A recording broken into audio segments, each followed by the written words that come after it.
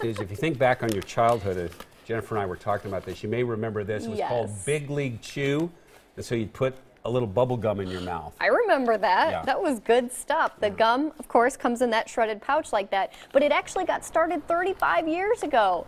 And believe it or not, a man hatched the idea for Big League Chew in Portland. Rob Nelson was playing for the former minor league team, the Portland Mavericks, when he came up with the gum because he said he watched his teammates chewing tobacco, but he, he didn't like to do that himself.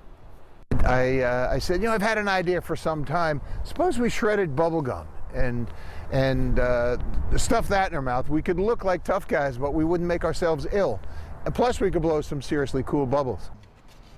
It said two for one. You're, you're not making yourself ill and you've got some cool bubbles. And hey, as they say, the rest is history. You can see that whole story for Big League Chew this weekend right here on KOIN 6 on CBS this morning.